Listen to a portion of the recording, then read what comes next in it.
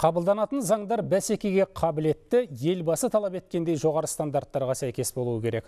Мәжіліс төрағасы Нұрлан Нығматулин президенттің депутаттық корпусқа қойған міндеттеріне баса назар аударды. Біздің алдымызда көлемді заң шығару жұмыстары тұр. Өткен сессияда еңбек еткен дәстүрімізге сәйкес аталған жұмыстар заң жобаларын мемлекеттік органдар, сарапшылық қауымдастық, азаматтық қоғам институттарының өкілдерімен кең тарта отырып, ашық пікірталас алаңында және осының барлығы бұқаралық ақпарат құралдарында белсенді түрде жарияланумен өтеді деді спикер. Сонымен қатар мәжіліс қарауына келіп түскен алдағы жылдардың бюджеті туралы ұлттық қордан трансферт бөлу және кедендік реттеу туралы заң жобаларына тоқталды. Бүгінгі төменгі палата депутаттары үшінші сессияға арналған негізгі іс шаралар жоспарында бекітті.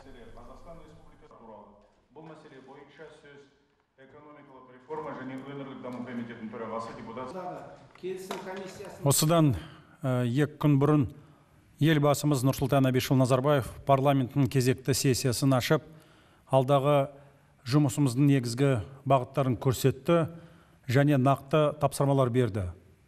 Сонымен бірге осы сессияда биылғы жолдауда айтылған маңызды мәселелерді сапалы заңдармен қамтамасыз етуіміз керек. Сондықтан жұмыла көтерген жүк жеңілдеп халқымыз айтқандай бүгіннен бастап баршамыз белсенді жұмысқа кірісуіміз қажет.